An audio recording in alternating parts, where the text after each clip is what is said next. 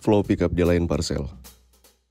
Customer bisa melakukan permintaan pick up paket di marketplace atau e-commerce.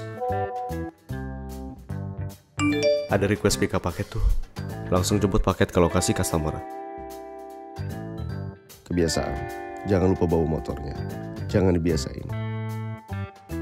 Setelah paket diterima, langsung update di aplikasi. So, langsung antarkan paket ke titik shuttle terdekat dari alamat customer. Langsung berikan paket ke agen di shuttle. Silakan serah terima paket. Itulah Flow Pickup di lain parcel.